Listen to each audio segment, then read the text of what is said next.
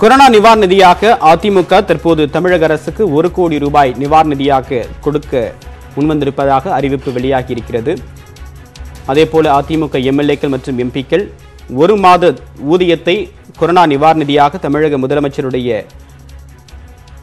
Relief fund அதற்கு வழங்குவார்கள் என்றும் தெரிவிக்கப்பட்டிருக்கிறது.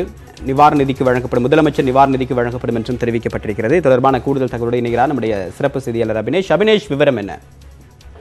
தேவப்பிரியன் தமிழக முதலமைச்சர் மு க ஸ்டாலின் அனைத்து தரப்பு மக்களும் இந்த கொரோனா தடுப்பு பணிகளுக்கு தாமாக முன் வந்து நிதி அளிக்க வேண்டும் அப்படின்னு ஒரு வேண்டுகோள் விடுத்திருந்தார். அதனை தொ- அதை- அதனைத் தொடர்ந்து தமிழகம் முழுவதும் இருந்து பொதுமக்கள் சாதாரண எளிய மக்கள் நடுத்தர மக்கள் குறிப்பாக நடிகர் நடிகைகள் அதே போல தொழிலதிபர்கள் உள்ளிட்டோர் எல்லாம் முதலமைச்சர் சந்தித்து அவர்களுக்கான நிதியை வழங்கி வராங்க. அதே போல அரசியல் கட்சி தலைவர்கள் அரசியல் கட்சி சார்பாக நிதி அளிக்கக்கூடிய நிதி அளித்து வராங்க. அந்த அடிப்படையில அனைத்து இந்திய அண்ணா திராவிட முன்னேற்ற கழகத்தின் சார்பில் கொரோனா நோய் தடுப்பு பணி மற்றும் நிவாரண பணிகளுக்காக முதலமைச்சரின் பொது நிவாரண நிதிக்கு ஒரு கோடி ரூபாயும் அதிமுகவின் நாடாளுமன்ற சட்டமன்ற உறுப்பினர்களின் ஒரு மாத ஊதியமும் வழங்கப்படும் என அக்கட்சியின் ஒருங்கிணைப்பாளர் மற்றும் இணை ஒருங்கிணைப்பாளர் கூட்டாக ஒரு அறிக்கை வெளியிட்டிருக்கிறாங்க.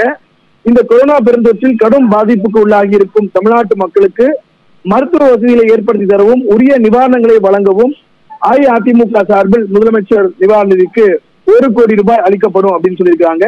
மேலும் அதிமுகவின் நாடாளுமன்ற சட்டமன்ற உறுப்பினர்களின் ஒரு மாத ஊதியமும் கொரோனா நிவாரண பணிகளுக்கு முதலமைச்சரின் பொது நிவாரணிக்கு வழங்கப்படும் எனவும் இந்த பெருந்தொற்றின் முதல் அலையை மக்களை தாக்கிய நேரத்தில் கடந்த ஆண்டு அஇஅதிமுக சார்பில் தமிழ்நாடு அரசிடம் ஒரு கோடி ரூபாய் வழங்கப்பட்டது. ஏற்கனவே போன முறை முதல் அலையில இப்பொழுதும் அரசிடம் அரசிடம் அதிமுக சார்பில் வழங்கப்படுற இந்த ஒரு கோடி ரூபாய் மற்றும் அதிமுகவுடைய சட்டமன்ற நாடாளுமன்ற உறுப்பினர் ஒரு ஒரு மாத ஊதியம் ஆகியவற்றோடு ஆங்காங்கே அதிமுக சார்பில் தங்கள் பகுதியில் இல்லற அதாவது அல்லூரும் மக்களுக்கு கொடைக்கரம் விழித்து கொள்கை வழி மற்றும் மக்களின் துன்பம் துரத்திட வேண்டும் என அதிமுக சார்பாக கேட்டுக் கொண்டிருக்கிறாங்க அதாவது அதிமுக சார்பாக அந்தந்த பகுதியில் இருக்கக்கூடிய தொண்டர்கள் எளிய மக்களுக்கு உதவி கேட்கிற மக்களுக்கு உதவ வேண்டும் அப்படிங்கிறதையும் சொல்லியிருக்கிறாங்க. குறிப்பாக இது அனைத்து தொண்டர்களும் அங்க செய்யணும் அப்படிங்கறத கட்சியினுடைய இரு தலைவர்களும் குறிப்பிட்டிருக்கிறாங்க.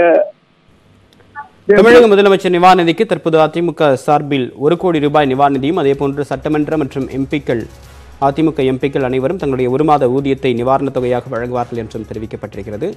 தொடர்பான விரிவான தகவலை கொடுத்தீங்க அபினேஷ் உங்களுடைய தகவல்களுக்கு நன்றி.